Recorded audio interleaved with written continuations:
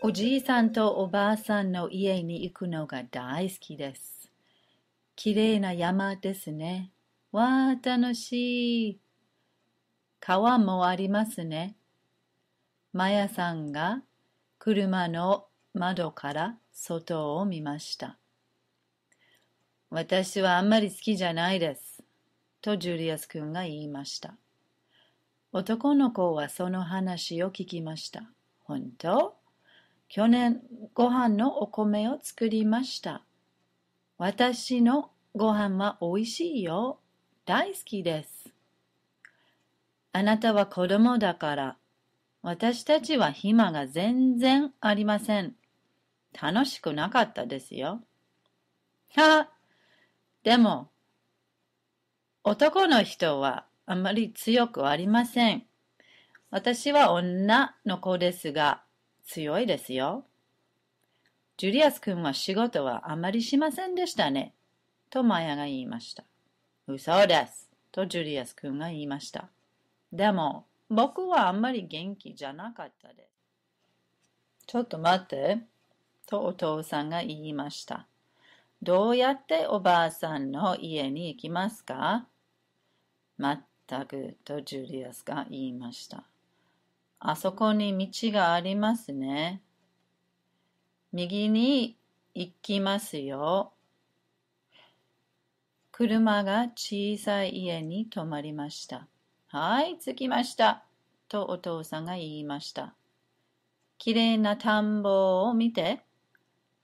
男の子は車を降りて、おじいさん、おばあさん、と元気よく言いました。こんにちは。大きいね、あなた。皆さんお元気ですか？とおばあさんが言いました。ちょっと寒いね。うちに入りましょう。晩ご飯がありますよ。みんなうちに入りましたが、おばあさんはジュリアスと話しました。ちょっと待って、ジュリアス。一緒にジュリアス君の部屋に行きましょう。晩ご飯はキッチンにありました。わあ、魚がおいしそうですね。食べましょう。とマヤが言いました。お茶もあります。飲みましょう。おばあさんが部屋に入りました。私はお茶が大好きです。どうもありがとう。いただきます。おばあさんは外の日時計を見ました。今何時ですか？ジュリアス君は遅いですね。何をしてるでしょうか？大丈夫かな？どこに行きましたか？とマヤが聞きました。部屋にいます。一緒に行きましょう。とおばあさんが言いました。マヤさんはおばあさんとジュリアス君の部屋に行きました。マヤは部屋の中に見ました。ジュリアスは部屋の中で寝ていました。大丈夫？マヤさんが笑いました。あんまり元気じゃないですね。いえ、元気な男の子ですよ。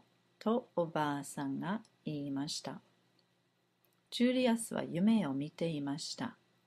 天国に行きます。いい気持ちです。でも、ジュリアスは天井に頭をぶつけました。痛い急に起きました。はいはい、ゆっくり寝てください。とおばあさんが言いました。マヤちゃんと一緒にジュリアスを布団に連れて行きました。あのね、ジュリアス君はポスターが大好きでしょ？新しいポスターを買いましたよ。布団の上にあります。じゃあ明日は忙しい。おやすみなさい。ジュリアスは布団に入ってポスターを見ました。それはとても大きな目でした。ちょっと怖いです。こんばんはあまり寝ませんな。とジュリアスが言いました。